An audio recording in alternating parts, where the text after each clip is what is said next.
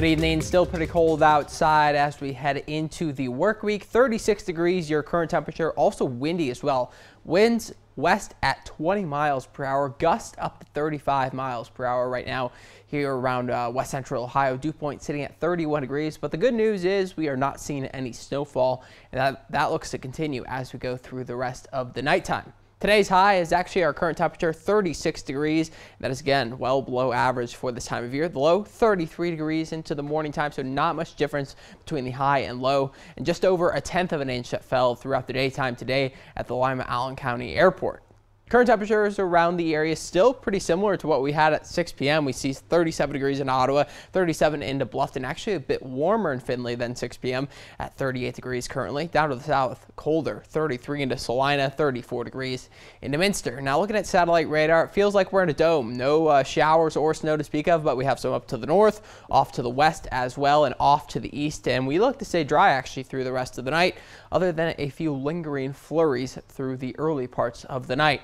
Now as we zoom on out, there is that low now off to the east that Clipper moved through during the morning and afternoon hours. That cold front now advancing into parts of Pittsburgh and parts of Pennsylvania. But we still do have those lingering uh, snow showers off the lake from lake effect snow.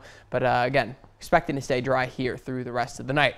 Temperatures into the morning getting down to around 30, 31 degrees, so another similar start to the day. Very cold, and that will be the trend as we head into the afternoon, getting up to around 40 or so degrees. So another cold one start that work week off, and as we head into the nighttime, tomorrow actually going to be warmer into the night than what we saw that, than what we are going to be seeing tonight. Right around 35, 36 for the low into your Tuesday. Now, hour by hour through the next several days, we see that low eventually moving off to the east, and we have a, a, warm front replacing that down to the south. Could see some snow tomorrow into the nighttime as well, but isolated in nature, we should be relatively dry and uh, no accumulation is expected.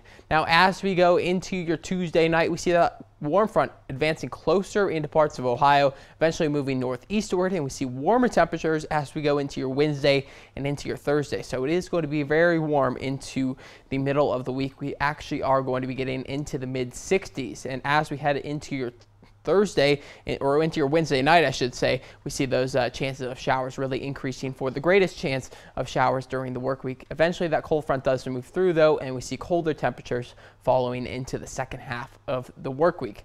Tonight, a low 31 degrees, cloudy conditions, a lingering flurry here and there, and those winds 10 to 20 with gusts up to 30. Tomorrow, 40 degrees and mostly cloudy.